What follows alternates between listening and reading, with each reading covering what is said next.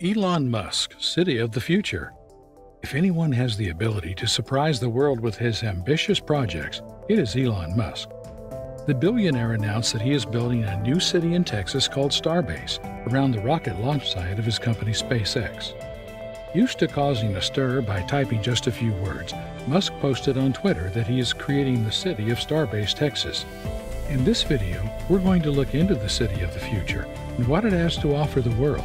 But before we finally move, we request you to support us and check out the given links below for amazing deals.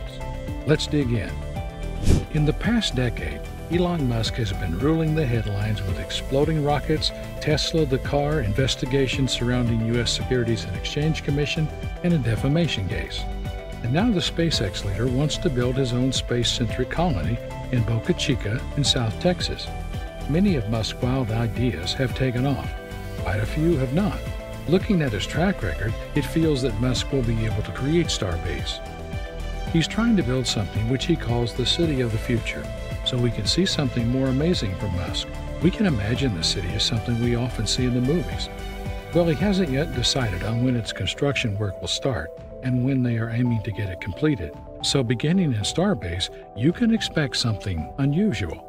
For example, there will be a Hyperloop, as he calls it, drawn up in an epic all night design session to one day connect distant cities via a high supersonic speed train that could take travelers from, say, San Francisco to LA in about 30 minutes.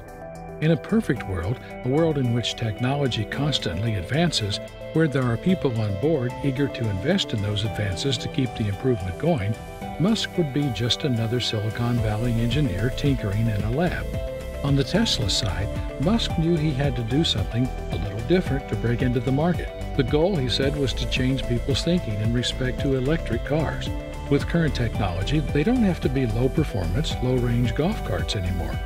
His city will use low power sensors, wireless networks, and mobile based applications to measure and optimize everything within it.